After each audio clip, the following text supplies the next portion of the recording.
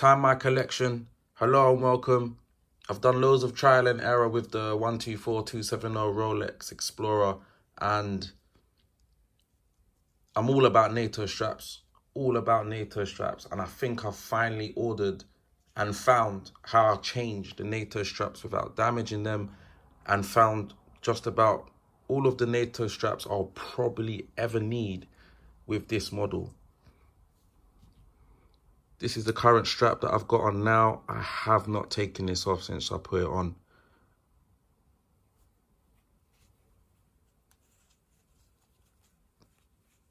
This on the Bond strap is just, even on my Instagram, so many comments, so many compliments of just how this suits so well.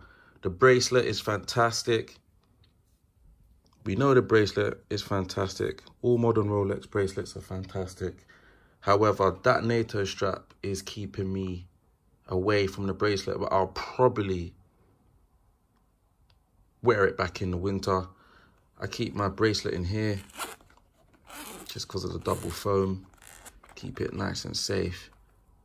But there you can see the Rolex bracelet is under there for this model. Nice.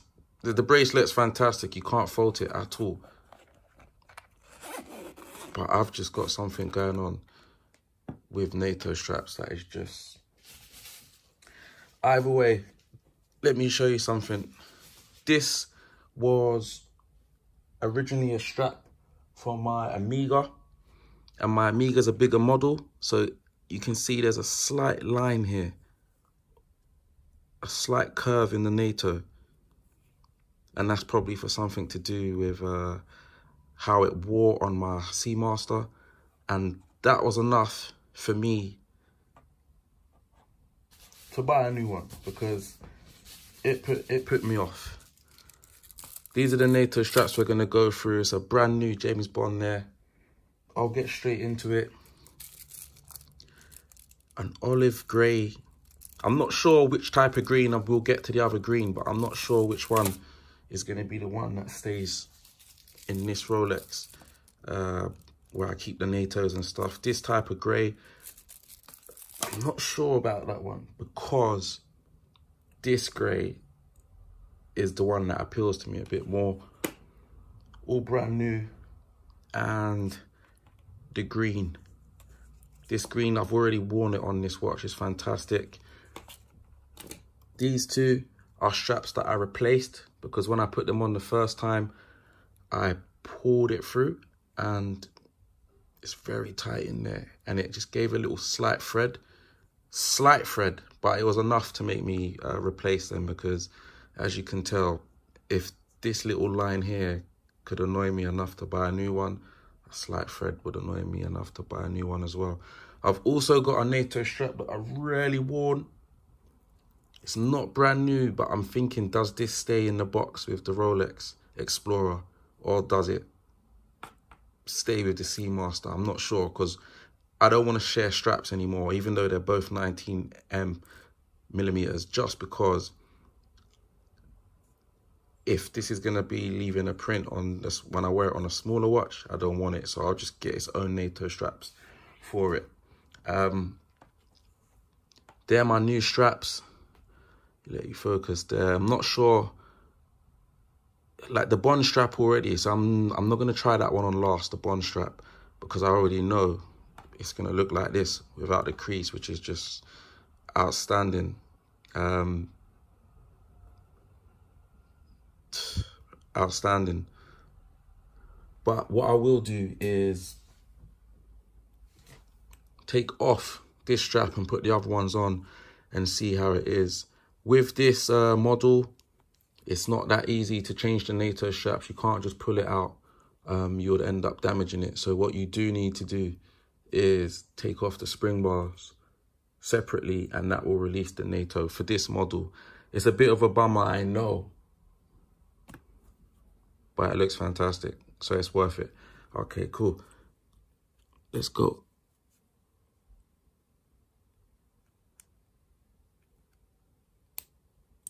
Nice and easy. Spring bar out.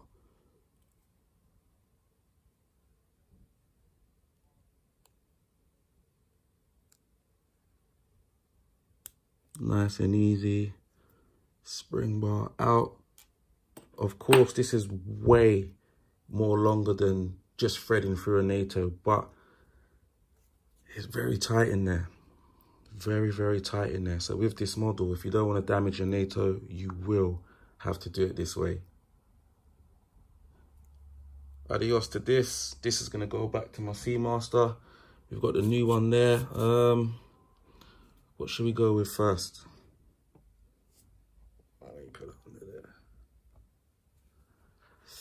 I've seen this, I've seen this. Let's go with some of the new colors. This is like an, like an olive. Let's see what I'm saying. Okay. Uh, that would probably get cut out once I am using it anyway. But let's go. It's on the darker side, however, I'm not sure. Not sure.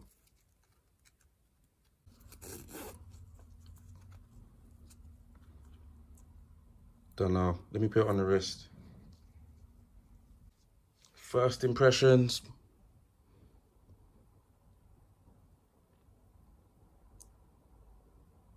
Mm, mm, nah, not really. It's not really popping to me, this color. Can he lie? It's not really popping to me, this color. Okay, cool. Next one. Let's go.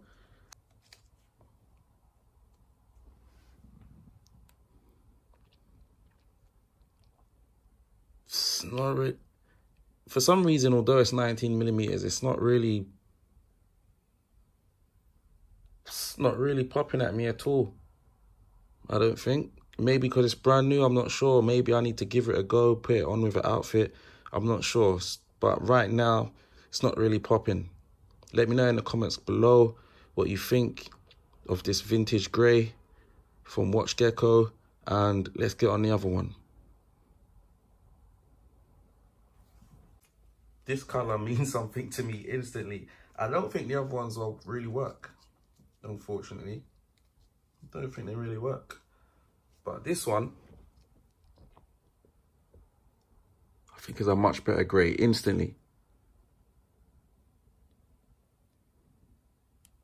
And I think this one, this one stays. This one stays. What do you think in the comments? Let me know. But this grey for me stays.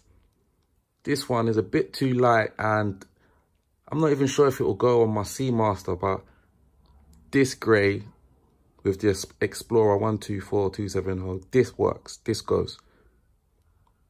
All right, cool. Let's go to the green strap next. Let's go. This is the final time I'm buying NATO straps. The bracelet's excellent, but I do love a NATO. So I need to make sure I've got what I need when the time comes. And this green, this one's popping instant. This green is popping instantly. Let me know what you think in the comments below. Also, this strap and this strap is from the same place. I think it's Watch Obsession. And the length is a lot better. As you can see that it's tucked in a lot better. Uh, just looks a lot better than these two. Um, yeah, I think this looks fantastic. I've worn this like this for a bit. I had some pictures on my Instagram. And I know why it's easy. Um, the bond strap last. I feel like not to put it on because if I put it on, it's going to stay on because I've kept it on. So what I'll do is I've got a bogus NATO strap that I'm not sure if I want to keep for the Explorer or my Seamaster. And that's this one. What do you think? Nah, doesn't work like that. All right, cool. Let's go. Let me change back in a bit. All right, we're back. We got the yellow mustard on. Mmm. It definitely, definitely reminds me of summer, but I'm not sure if it's a bit too much. And uh, I do like this watch because not many people can notice it. And I feel with this type of strap, you will look because of the strap and then you might kind of notice what is on the strap. What do you think? This actually does go well and uh, pair well with my Seamaster because it's got the faux patina, which is kind of yellowy, mustardy orange, all at the same time. Um, mm, I don't think this will stay in the Rolex box, but it was worth a shot. It was worth a shot. That's all my new straps. Let me know which you think uh, should be kept or transferred. I was thinking of the vintage Bond strap. This strap, but once again, it's got the markings, the lines, the marks. So it's just been worn and it's worn to another watch, which I just feel, no. So I didn't order a new one. I just felt this Bond was so, so much of a perfect fit that I just would leave it there. But Rolex Explorer 124270. The yellow actually looks good now that I've put it down. Like a real summer watch. Like that's actually, I don't know. Let me know what you think. Let me know in the comments below on the YouTube or let me know over at Instagram, whichever one's best for you. But definitely, this is the monster strap for me. I haven't taken this, the old one off anyway, but this is a brand new one. These are the straps that are gonna be in the Rolex box. Um, so, along with the bracelet. So, I'll I'll house them all together. My Explorer is either going to be on the green, grey, black and grey, or the infamous bracelet, I think. And even now, just looking at all of these colours against the yellow, I think the yellow is a bit too much. This is for an occasion. I think it's a bit too much. These ones feel more military. Look at that, look how hard he's pressing in. Anyway, these two I feel are a bit more military and uh, they will fit good I think on my Seamaster. I've just come back from holiday so my Seamaster was on this strap at the beach. I love that. Let's just quickly, this is how it should be really. So one of the big cons of the 124 270 is just how tight the lugs are. Um, this is where it should be really. And I'm not I'm not gonna and this is actually a 20 millimeter strap that is fitting into a 19 and just sliding out.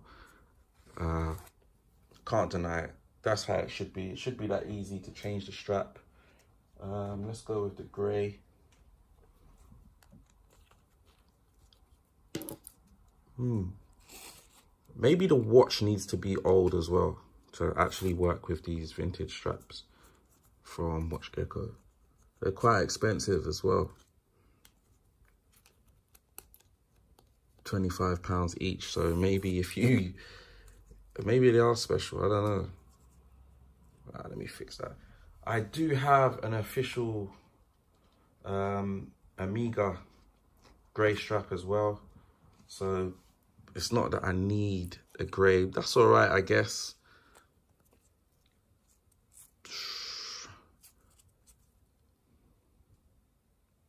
I guess. But yeah, actually, if this watch was looking a little bit more beat up, I think this grey would actually really go with this watch.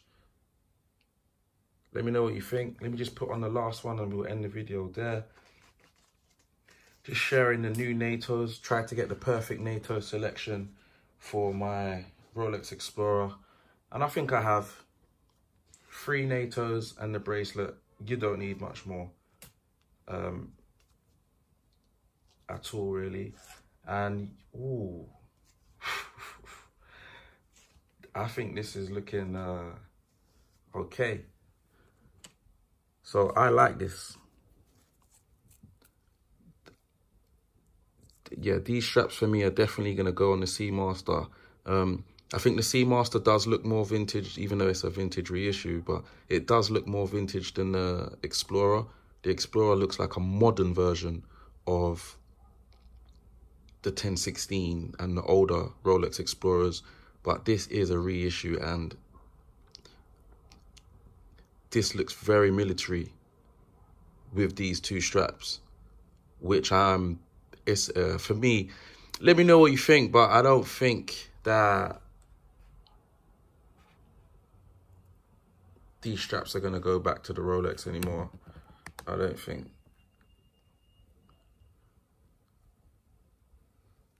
Time my collection.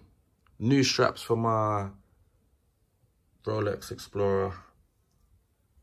And I think I found the best combination.